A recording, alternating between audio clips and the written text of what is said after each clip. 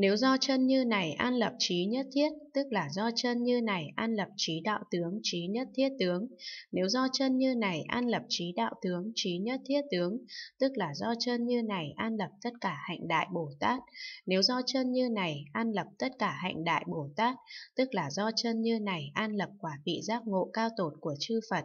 Nếu do chân như này an lập quả vị giác ngộ cao tột của chư Phật, tức là do chân như này an lập cảnh giới hữu vi. Nếu do chân chân như này an lập cảnh giới hữu vi, tức là do chân như này an lập cảnh giới vô vi.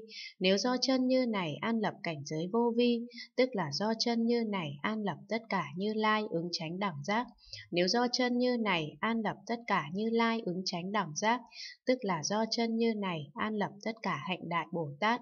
Nếu do chân như này an lập tất cả hạnh đại Bồ Tát, tức là do chân như này an lập tất cả hữu tình. Nếu do chân như này an lập tất cả hữu tình, tức là do chân như này an lập tất cả Pháp. Như vậy, này thiện hiện, chân như của tất cả Pháp, chân như của tất cả hữu tình, chân như của tất cả như lai ứng tránh đẳng giác, chân như của tất cả Đại Bồ Tát. Sự thật đều không sai khác, do không sai khác nên gọi là chân như. Các Bồ Tát đối với chân như này tu học viên mãn, chứng đắc quả vị giác ngộ cao tột, gọi là như lai ứng tránh đẳng giác. Vì vậy, này thiện hiện nên biết, Đại Bồ Tát tức là Như Lai ứng tránh đẳng giác, vì tất cả Pháp, tất cả hữu tình, lấy chân như làm định lượng. Vì vậy, này thiện hiện, Đại Bồ Tát nên học chân như của Bát Nhã Ba La Mật Đa sâu xa. Này thiện hiện, các Đại Bồ Tát, nếu học chân như của Bát Nhã Ba La Mật Đa sâu xa, thì có khả năng học chân như của tất cả Pháp. Nếu có khả năng học chân như của tất cả Pháp, thì có khả năng viên mãn chân như của tất cả Pháp. Nếu có khả năng viên mãn chân như của tất cả Pháp, thì đối với chân như của tất cả Pháp, được an trụ tự tại. Nếu đối với chân như của tất cả Pháp được an trụ tự tại, thì có khả năng biết rõ căn tánh thắng liệt của tất cả hữu tình.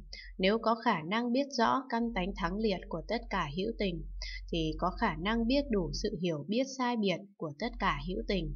Nếu có khả năng biết đủ sự hiểu biết sai biệt của tất cả hữu tình, thì biết hữu tình do tự nghiệp mà thọ quả.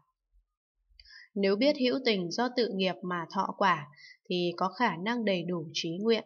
Nếu có đầy đủ trí nguyện thì có khả năng tịnh tu diệu trí ba đời.